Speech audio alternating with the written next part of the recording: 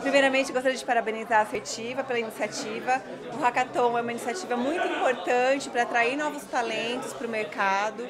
Então, nós temos pessoas muito boas e que um hackathon às vezes é capaz de trazer e inserir essas pessoas no, no mercado para trazer bons produtos, trazer inovação.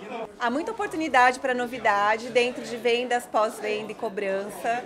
É uma solução disruptiva pode vir para acrescentar muito diante desse cenário, principalmente da, diante da economia do país.